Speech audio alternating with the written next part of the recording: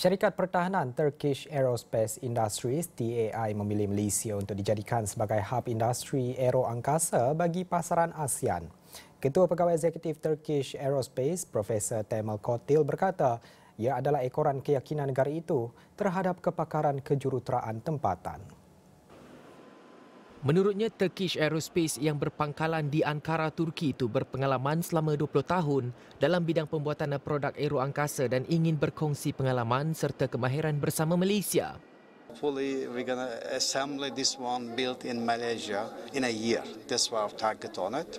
And with without customer, Malaysian customer, because we won't build this one on the, the, the Asian countries. So Malaysia is the right place for us. Beliau berkata demikian pada sidang media pada pameran dan persidangan Perkhidmatan Pertahanan Asia DSA 2022 dan pameran Perkhidmatan Keselamatan Asia NATSEC 2022 pada Selasa. Beliau berkata syarikat itu akan terus melabur dan menjalinkan kerjasama di Malaysia bagi membangunkan teknologi generasi baharu termasuk dalam bidang industri pertahanan dan penerbangan. Menurutnya, TAI juga berkolaborasi bersama dengan DRB Highcom Defence Technologies sendirian berhad DevTech dan beberapa agensi berkaitan dan institusi tempatan untuk membangunkan sistem avionik tersebut dan beberapa produk lain seperti drone tanpa pemandu UAV.